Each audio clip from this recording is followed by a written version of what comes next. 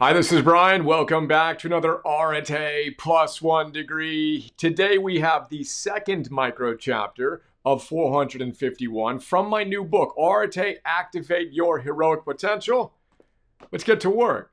Arete, explain it like I'm 10. I'm a pretty disciplined guy and have a pretty structured way I approach every day of the year. This morning, I cut my normal morning work protocol short to focus on my love protocol. The special occasion? A chess tournament with Emerson at the Austin Grandmaster Chess Academy. So, I leave my office early and step into the kitchen all fired up about the day ahead. And Emerson tells me he doesn't want to go. Me, really? What's up, buddy? Emerson's wilted flower posture response I don't know. I just don't want to go. Me, huh, interesting. How about we go on a quick walk and talk about it? Emerson, okay. We head out to hit the trail on our property, and Eleanor and Mommy follow. Now, before heading the opposite direction on our little trail, Mommy says he says he doesn't want to go because he doesn't think he will win. You might want to talk about that. Me to myself, fascinating. We'll definitely want to talk about that. So I reach out to hold Emerson's hand as we start our walk. I squeeze it tight and tell him I love you in our little made up language we call squeezies.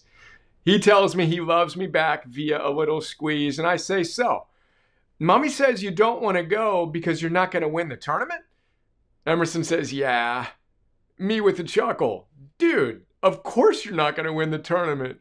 You're going to play against guys that are insanely good. Remember what Nick his coach said yesterday when he was invited to play at an elite tournament that he knew he wouldn't win? Emerson, yeah, he said he was super excited because he knew he'd be playing really good players that would challenge him and help him get better. Me, exactly. Win or learn, and learning is winning, so let's go, right? Emerson, yeah. Now, that part of our chat was on the first half of our loop. Right after we established the opportunity to win or learn, we ran into Mommy and Eleanor who were headed the other direction. We gave them a high five and then continued our chat. Me, hey buddy, you know that voice in your head that was telling you all the reasons you didn't want to go to the chess tournament? Emerson, yeah. Me, well, and I stop walking and get down on a knee and look him straight in the eye as I say, we all have that voice in our head. And I want you to listen really closely right now. If you run your life making decisions based on what that voice in your head tells you, then, and I paused, you will not create the life you want, period. Your grandpa Phil calls that part X. We all have that voice, and it's never going to go away. And one of the most important things you will ever do is learn how to deal with that voice. Emerson's eyes are big. He's focused. He's locked in, fully registered. I stand up. We continue our walk. I grab his hand again. Me via squeezies. I love you. Him via squeezies. I love you too. Then I say, now, here's how you deal with that voice. First, you need to recognize that part X is talking to you. You'll usually know because you will be whining or complaining or making up stories about why you don't want to do something you kind of know you actually do want to do. Just notice the voice is there. Then practice targeted thinking by asking yourself, What do I want? We make eye contact, he's fully present and tracking. And I continue by saying, So, what do you want in your life? Emerson says, Well, I want to be happy. And, and I say, Exactly. Then I pull up this sleeve on my sweatshirt and show him the one inch tall, five inch wide tattoo on my left forearm. You want to be heroic and show up as your best self and create a great, joyful life in which you're giving your gifts to the world. He nods his head and says, Yeah. Then I say, And you know how you will do that? And he says, By helping people? I say, Great answer. Yes, exactly. And in this situation, you need to, then I pull up the sleeve on my other arm to show him the one inch tall, four inch wide tattoo on my right forearm. I say, You need to live with arete. You remember what that means? He says, Sort of. And I say, It's an ancient Greek word. We translate it into English as virtue or excellence, but it has a deeper meaning. Something closer to expressing the best version of yourself, moment to moment to moment. Then I stop again and hold up my right hand about eye level so it's parallel to the ground. And I say, You see that line? That's you being your absolute best self. Then I hold up my left hand about a foot below that, also parallel to the ground. And I say, You see this line? That's you not being your best self.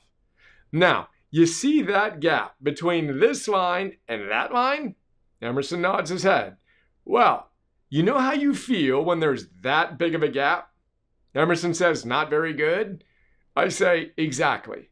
Now, what if we close the gap between who we are capable of being and who we are actually being as we show up as the best version of ourselves? How do you think that feels?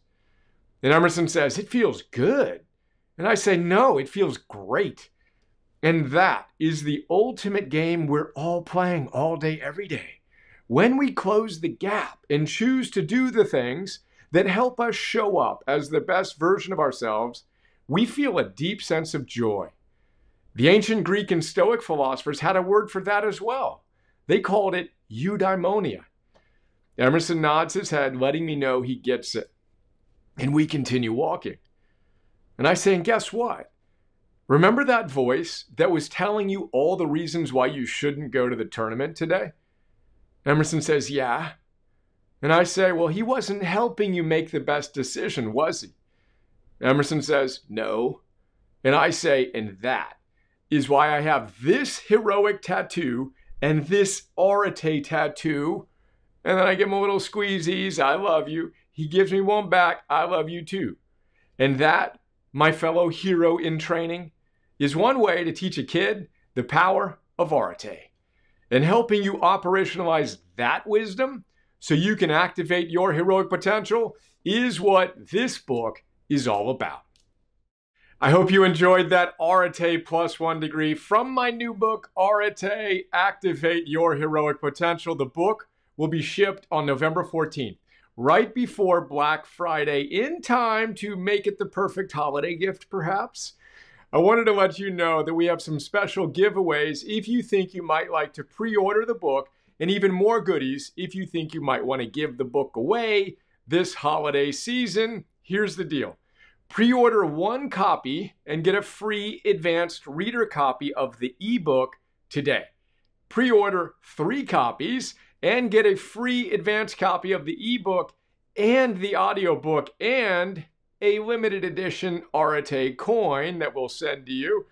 Pre order 10 copies of the book, bless you, and get all of that plus an autographed advanced hardcover reader copy sent to you immediately inside the fancy Arete VIP box, which is packed with other goodies, including this Arete t shirt, a heroic t shirt, and 10 free annual heroic memberships for your gift recipients. You'd be able to give them a book and a year's worth of heroic for free.